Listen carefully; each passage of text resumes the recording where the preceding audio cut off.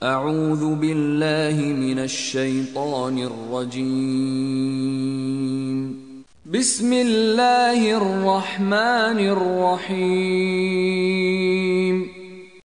तुम मदीने से करीब के नाके पर थे